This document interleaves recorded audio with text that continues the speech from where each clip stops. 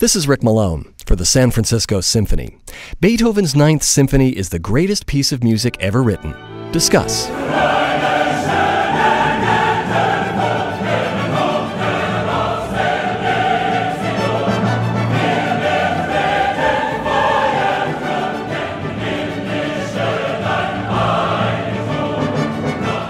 Was the first symphony to feature a chorus and vocal soloists. The words they sing were written by Beethoven himself and by Friedrich Schiller, an ode called To Joy about the universal brotherhood of mankind. It astonished audiences and critics alike at its premiere, and it was his last completed symphony. These are the facts. The aura that surrounds the Ninth Symphony, though, has transformed fact into fantasy, myth, and legend in the almost 200 years since its premiere in 1824. It is at or near the top of every list of the greatest pieces of music ever written. Its status as the last of Beethoven's symphonies created a mystical boundary beyond which other composers dared not go. It has been played, in whole or in part, at some of the most momentous occasions of the last 200 years, including the fall of the Berlin Wall, and it has become an anthem of freedom around the world.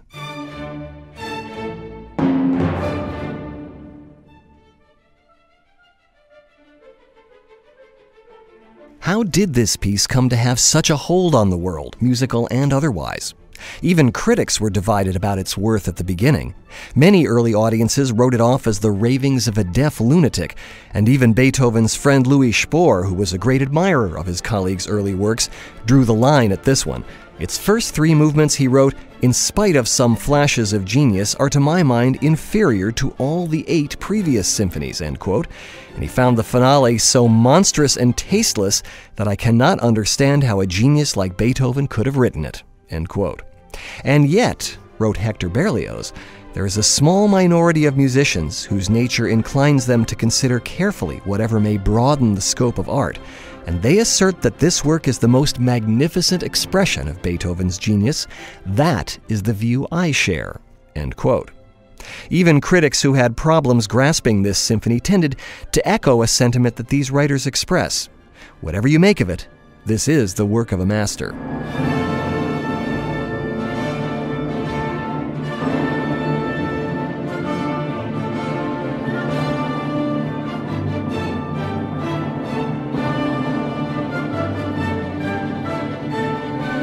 Like all of Beethoven's symphonies, the Ninth was conceived as a grand experiment. In its length, half again as long as any symphony that had come before it. In the choral finale, is it a symphony, an oratorio, or what? But so were his other eight symphonies, which are full of their own avant garde moments.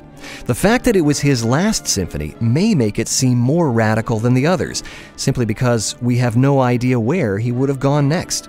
Beethoven himself could show where the implications of the eroica or the pastoral might lead, always building toward new advances from one symphony to the next. But that momentum comes to a magnificent climax with the ninth. Beyond it were only uncharted waters, with no guide to point the way for future composers. The path of the Ninth Symphony itself is perfectly clear. It is a victory symphony, one of Beethoven's many musical journeys from darkness into light, like his third and fifth symphonies and his opera Fidelio.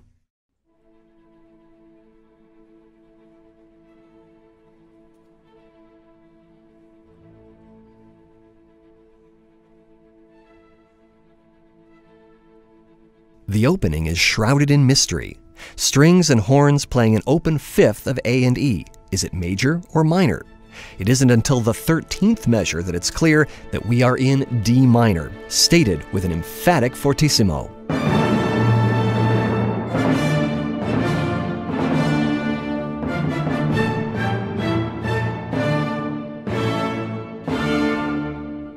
By what seems to be the full orchestra, but Beethoven has some surprises in store.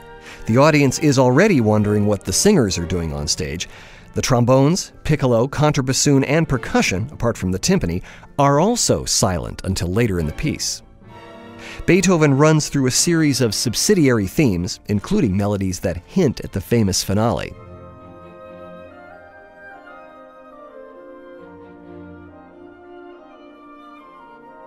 And puts them through a tense process of development and recapitulation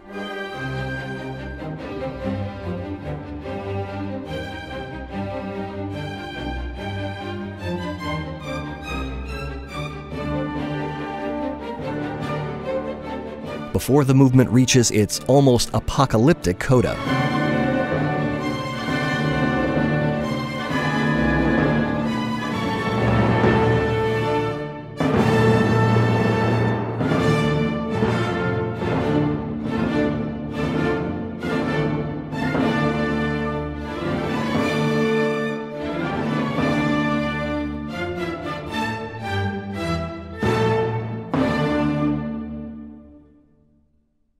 The opening of the scherzo recalls the wide open intervals of the start of the first movement, but this time they are not shimmering mists, but hammer blows, led by the timpani.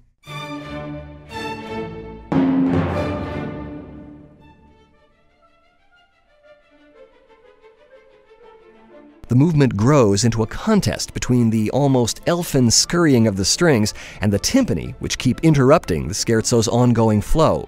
At times, the pounding leads to a galumphing swagger.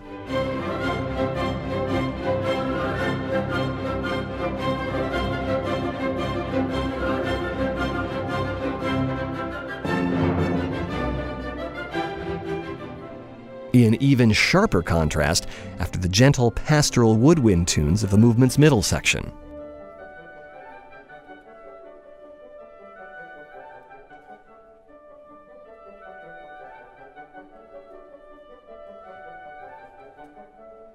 The Adagio introduces the soulful side of Beethoven, the diametrical opposite of the athleticism of the previous movements.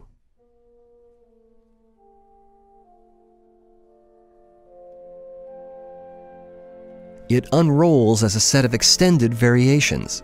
Mostly, these involve the first violin's tender melody that graces the opening.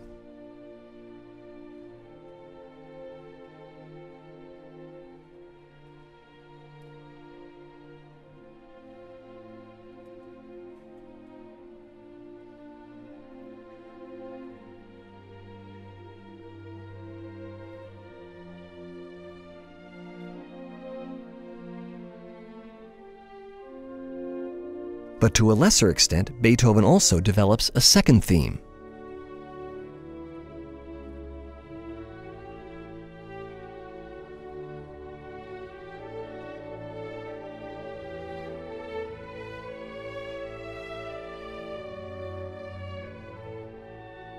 which flows a bit more urgently.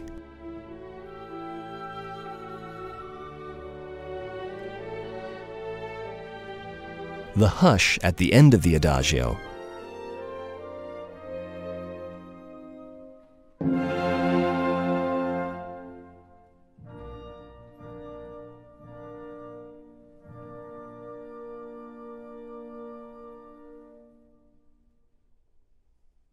is broken by the presto that opens the finale.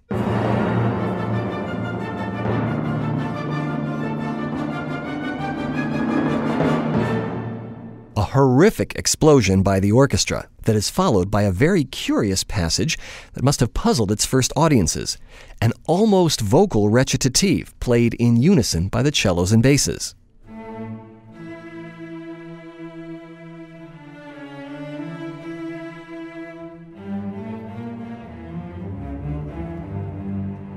Although there is no text, the recitative seems to be asking questions, and the orchestra responds with answers that allude to material heard in the preceding movements.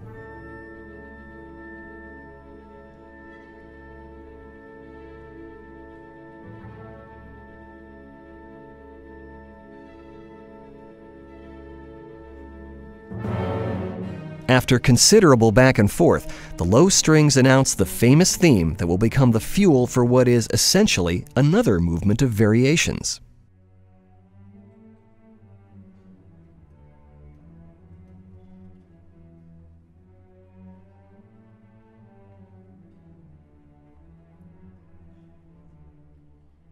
The first three of these variations involve just instruments, weaving in threads of greater complexity until finally, after the movement's opening eruption returns,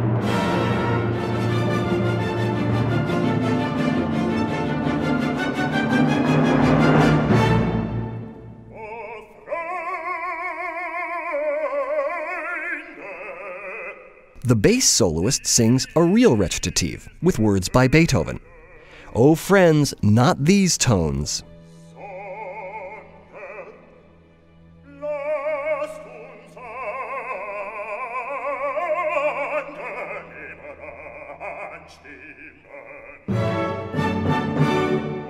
Rather, he sings, Let us tune our voices in more pleasant and more joyful song. And the joyful song, now sung, is the principal theme we heard earlier in the low strings, this time with the words from Schiller's ode to joy.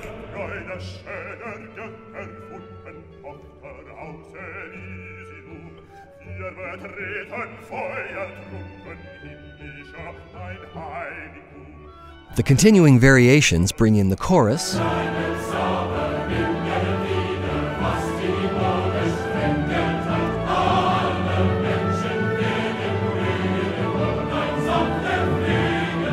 The soloists, separately and together,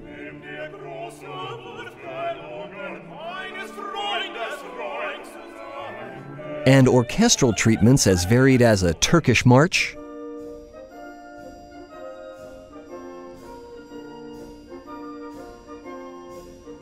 a vigorous orchestral fugue,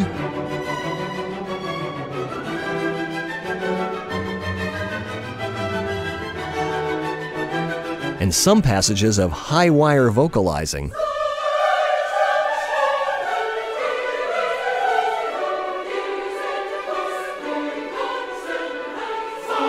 Leading us to and through his grand choral finale.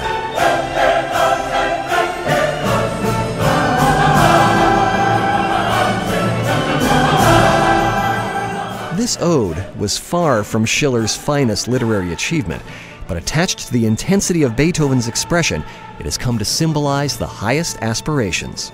Friedrich Nietzsche argued that Beethoven's music is music about music, but ensuing generations have begged to differ. Beethoven's Ninth has come to be music about the hopes and dreams of humankind.